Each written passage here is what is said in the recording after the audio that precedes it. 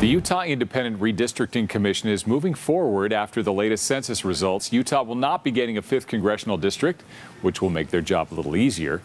During their meeting last night, they addressed redistricting issues from 2011. They also discussed recommended legislation and are looking for ways to bring in public consideration of any changes.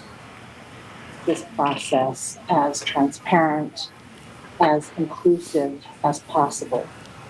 And I, I really, you know, you see the, the support of Prop 4 that, you know, we know the public feels strongly about this. The commission will eventually draw three maps each for Utah's congressional districts, state legislature, and school board. A legislative committee will ultimately make the final decision later this year.